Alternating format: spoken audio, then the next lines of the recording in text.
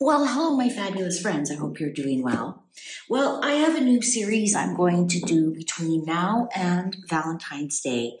And every day I'm going to be doing a relationship or a love reading on uh, famous couples, uh, not only royals, on some of the big celebrities that are out and about right now. And how you do this reading is you put the King of Cups and Queen of Cups. It doesn't matter what their astrological is. It's this is the couple because that's the King of Hearts and the Queen of Hearts. So this is their emotional love connection. Um, not talking too much about their passion or about their uh, financial or earthly needs or wants. Let's just see where they are in their heart with their relationship. So, one of the first couples I'm going to do is Travis, um, the football player. That's how much I know about it. I don't even know uh, his last name, Kel- Kelsey, Kelchi, uh, and Taylor Swift. They're huge in the news. They're everywhere right now. But what is their emotional connection really like? Are they soulmates, for example? Is this just a fling? Is this just a, um, you know, friends with benefits. Who knows? Let's find out. So on Travis's side, where he, of course, he's the king of cups, might be the king of Super Bowl cups. And um, there we have uh, Taylor. She's the Queen of Cups. And of course, she just won an award at the Grammys as well. But that has nothing to do with why I use these as indicators. This is King and Queen of Hearts. This is how is your heart connection? Are you soulmates? Or is this just a one off? Is this just two people having a good time with each other? Um, wham bam, thank you, ma'am. Or let's connect and uh, make a family. Let's see what's going on with Taylor and Travis. T and T, as they like to dub themselves. Uh, T and T, Travis and Taylor Swift. What's their emotional connection? Are they soulmates? Cards are ready. Okay, the big connection through them. Oh, seven of wands, very passionate, very passionate. They've actually had to put up with a lot of people uh, naysaying them, and they've and they've taken the high ground, and they're trying to do what's best. And actually, um, as I, I think I've seen some stuff that Taylor's get taking a lot of grief for showing up at the games and distracting and uh, taking away from the game, etc., etc. Um, or you know they're not really real. They they have had a lot of things poking at them. They have been taking the high road with that though, almost a never complain, never explain type of stance, and just going on and doing what they're doing. So for Travis, the magician you know what? In some respects, it, listen, he's a, a, fantastic athlete in his own right at the top of his game. Um, but when it comes to um, career, he is kind of punching above his weight a little bit with Taylor. Uh, I mean, she's doing a billion dollar around the world tour. Uh, look at she just won record breaking fourth Grammy, etc., etc. Again, not to take anything away from Travis, but he is dazzling her a little bit. He is definitely dazzling her a little bit and showing the potential that he has. Um, you know, so we might only make 400 million this year, but guess what? We could probably make another billion next year. I don't know how much he makes. I'm just making that up. Let's see. Ooh, Queen of Swords. Well, she's the queen of words, isn't she? The songs that she writes. And she has been through a few uh, re- long-term relationships that have ended. And when she ends them, she writes you in a song. so she is the queen of words with her songwriting. Um, also, sword, swords are, is singing. It is the voice. It is uh, whatever's put out into the air, communication. Uh, so isn't this interesting? He's the magician, um, you know, scoring I was going to say scoring goals. They don't score goals in football. Um, you know, he, you know, creates the game kind of thing. And here she is, the Queen of Swords.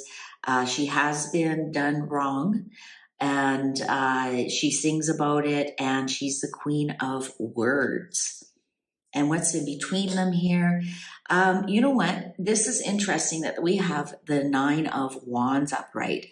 Um, I think that, and Travis has actually come out and said they've actually been a couple for longer than indicated. And this, this nine of wands tells me this. They had to maybe, um, uh, you know, do a couple of texts back and forth, calls back and forth, uh, chatting back and forth. Um, and it became more and more and more passionate. Also, it's interesting, it's under the seven that they have to defend themselves. And then finally, they were allowed to come out and uh, as a couple. And interesting, this is red, Kansas City. Of course, their colors are red. Um, and it, and there is something here that they wanted to keep quiet for quite a while.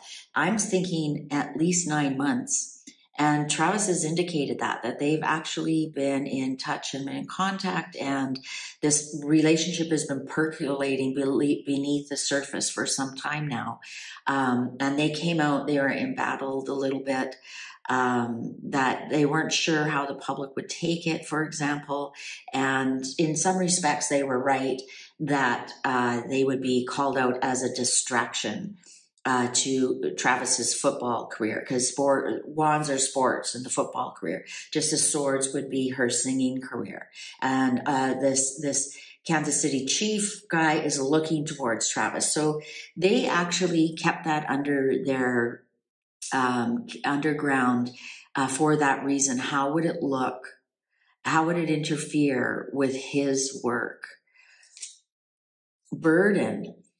Um, it's this this relationship is somewhat of a burden to Travis. Uh, and again, this, that might might dissipate after the um, after the the Super Bowl.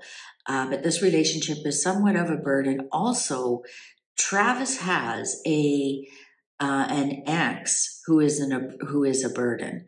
So I'm not sure. Does he have like children from another relationship? Uh, does he have a relationship that's causing him problems?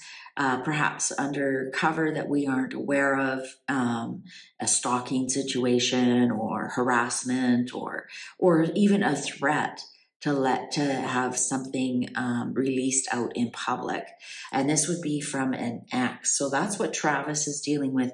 And that could have something to do with why they kept it under wraps for a while.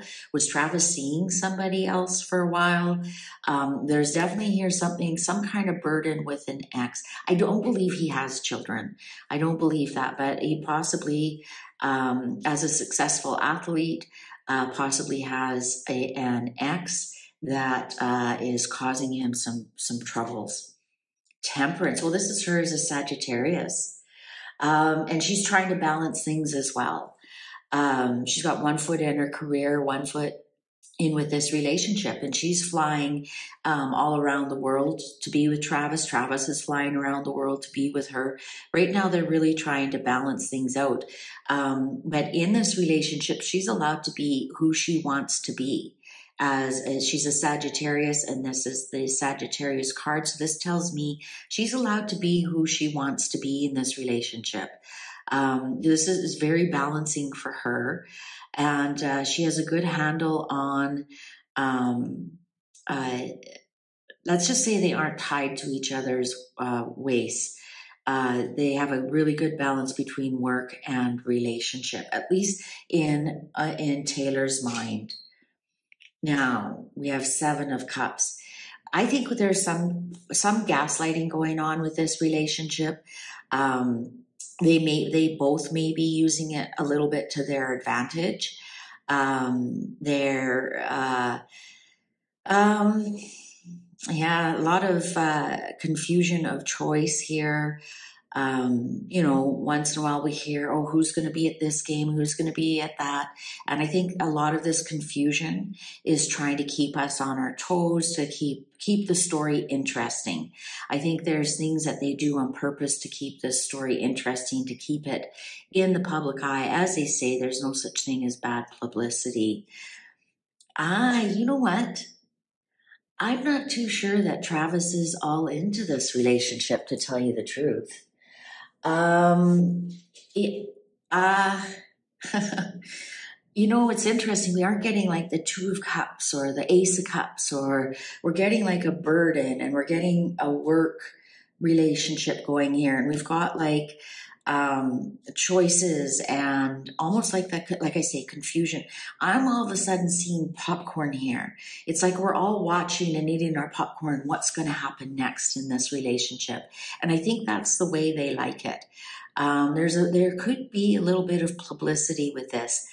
Also, this could be that maybe Travis has had to block this relationship out for this weekend, the Super Bowl coming up, and just concentrate on himself um, and not worry about the relationship whatsoever. As we saw, he didn't show up at the Grammys to support uh, Taylor, but Taylor's flying, you know, from midnight right after her show in Tokyo to support him. Like, um, maybe he, maybe they won't even see each other before the game, and I'm guessing not. The star, well, she's the star. What did I just say? Um, she is the star of the show. I have to cover up her boobies. Um, not that I'm a prude. It says YouTube wants me to. Uh, she's the star of the show. She's the star. It's it's mostly about Taylor. Um, I can guarantee you a lot of the Swifties are called wouldn't have even heard of this NFL player if it wasn't for Taylor. Um, she's the star in the show. Um, it's looking like she is ruling this relationship right now. Um, everything is about Taylor and about what it does for Taylor. Um, in some respects, this this relationship um, is going to bring a lot of peace of mind to both of them to smooth things out. Um, I wouldn't be surprised if it's a little bit rocky right now. Um, you know, you can't be that intense, that passionate. Like you, uh, sooner or later, you run from the fire pan into the fire. And I, I'm thinking after this weekend, uh, things are going to calm down a lot for them. Uh, but they're definitely in they're they're in kind of a rocky spot right now. Um, there could be some miscommunications. Uh, there could be uh, some distractions going on, uh, but soon enough they'll be um, back on on smooth sailing. Listen, I think we have six of cups here. Um, is this a faded relationship? I don't know. How did they meet? How did they meet? Have they known each other for a very long time? Um, or do they have siblings that have known each other for a very long time? Um, this is almost a faded relationship. Um, uh, you know, uh, I was listening to another psychic, and she believes they are just, this is all an act, and that they, in fact, have not they don't have a passionate relationship, and I don't see that here either. As a matter of fact, I see like they're more like brother and sister, uh, and not in a creepy way, if you know what I mean, without getting zapped by YouTube. Um, let's see, the Hanged Man, the Hanged Man on on Taylor's. Again, I'm not getting two cups. I'm not getting Taylor might become pregnant. The hangman can sometimes be my pregnancy card. That for nine months you are um, you just you're pregnant. You, you, a lot of things you want to do you can't do. Um, you know, it's just more or less about the baby than you. All of a sudden you can't drink. You know, if you're a smoker, you quit smoking, perhaps. Um, you know, if you run marathons, perhaps you can't. Um, you know, there's you just have a lot of restrictions. Um, you know, based just because you're pregnant. No, no, I'm not saying all women do that, but there are a lot of things that you just simply can't do, like bend down in stilettos. Um, you know, because you're you're pregnant. I wouldn't be surprised. And I think I read on this a couple of months ago that Taylor becomes pregnant. That Taylor becomes pregnant. Uh, Knight of Rods well, that's him as a sports person. Um, I know, isn't that funny? I just said they're more like brother and sister, but not in a weird way. That she becomes pregnant. Um, this could be like a love, like a brother and sister. perhaps maybe perhaps they have like a night of passion that's the knight of rods the knight of wands is is wham bam thank you ma'am um, and it's looking at taylor whereas some of the other ones were looking at travis um, also the Knight of rods is also sagittarius um, and they you know they call the sagittarius the bachelor or the bachelorette of the um, of the zodiac they it, it it, being married isn't really high on their list of priorities. There's a lot of great married Sagittarians, of course, but it's not um, really high on their list of priorities. As for example, uh, Libra, right? They're the marriage house. Um, the the Sagittarian houses, travel, um, freedom. Um, marriage just is like if it happens great. If it's if it doesn't happen great. They're they're really ambivalent about marriage. Um, i'm wondering if this is not a long-term relationship. Knight of rods is not long-term. Uh, we do not see uh, ace of cups we don't see the two of cups we we have six of cups here which tells me this is more like a brother and sister love like they deeply care for each other um, but I'm thinking they're both in it. What can it do for me? The hermit, he, yeah, he's definitely, um, he's not thinking of partnership at all. The hermit is not. They'd rather just go off and be by themselves. This was a kind of a nice distraction. Um, he actually may be worried about Taylor writing about them if they do break up, that could be the Ten of Wands as well. He's absolutely not interested in in this as a long term um, relationship. Um, he'd rather just go off and do his own thing. This is kind of a nice distraction. I forgot to look up and see what sign he is. The only reason I know it's Taylor's sign is because I have a friend born on the same day, and, and she made sure she pointed that out to me. The High Priestess it, we got the two most single cards in the deck here. Um, the High Priestess with her secrets. Um, I don't see any marriage cards here whatsoever. The lovers. Look at that. The lovers. That's all they are. They are, um, uh, let's see, what's the underline here? Yeah, you know what? Eight of Wands. This is a fast moving, um, exciting relationship that absolutely does have an ending to it. Um, normally, when I do a love reading, I see where that eight is going to land. So let's see, where is that eight going to land? Is it going to land in the end or is it going to land in marriage? What's that eight going to land on, please? Wheel of Fortune huh, you know what? They could ride this out for quite a while until it doesn't benefit either one of them anymore.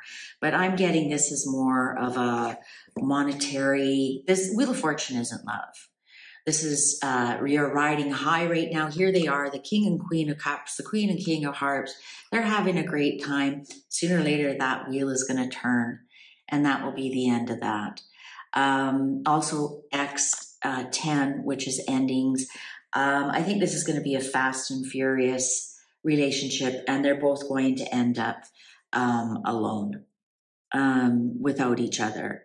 I don't see a lot of love here at all. I see just two kids having a great time, possibly could end up with a pregnancy. I don't even see them married after that.